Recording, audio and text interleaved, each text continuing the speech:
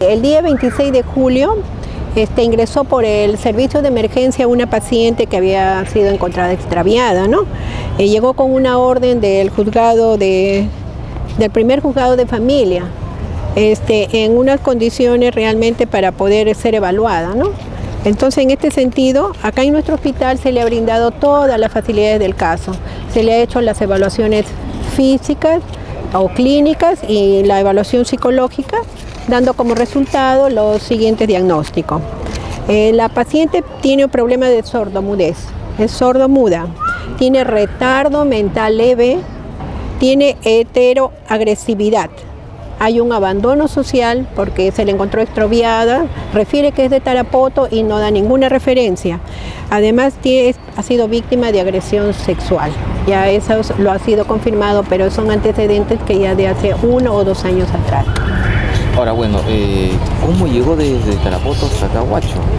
Eh, ha tenido que estar, ¿no? Sí, la encontraron deambulando, realmente extraviada y el juzgado se hizo cargo de este casito y ordenó no, a través ya del juez de familia, ordenó que sea hospitalizada acá en nuestro hospital para que una vez que sea evaluada clínicamente o físicamente pueda, pueda esta paciente ser este, ya trasladada pues a un centro de aproximadamente tiene?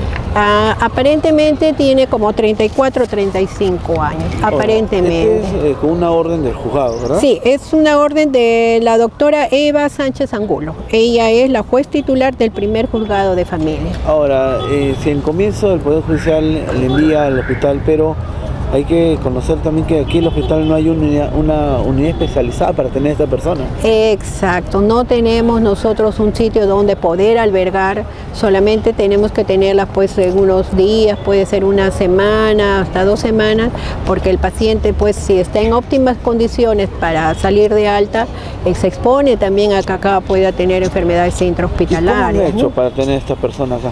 Acá le hemos dado nosotros todo, o sea, a través del CID, porque es un seguro integral de salud que se da a la gente que está en abandono social.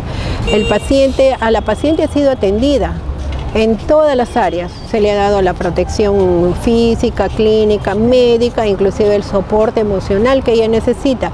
Pero ya pues culminó, está de alta y ahora lo que queremos es pues que que el juzgado emita una resolución, que estamos a la espera de esa resolución para poder ser trasladada a la ciudad de Lima. Bueno, yo no se la puede tener más aquí en el hospital porque, como usted menciona este informe, tiene agresividad. Sí, inclusive el día de ayer se ha comportado pues de una forma agresiva y los pacientes pues también tienen temor, se altera ella, ¿no?